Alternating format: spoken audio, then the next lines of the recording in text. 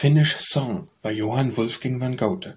If a loved one, a well-known one, should return as he departed, on his lips would ring my kisses, for the wolf's blood might have dyed them, and a hearty grasp I'd give them, though his finger ends were serpents. Wind, oh thou hadst but reason, word for word in turns wouldst carry, e'en though some perchance might perish, atween two lovers so far distant.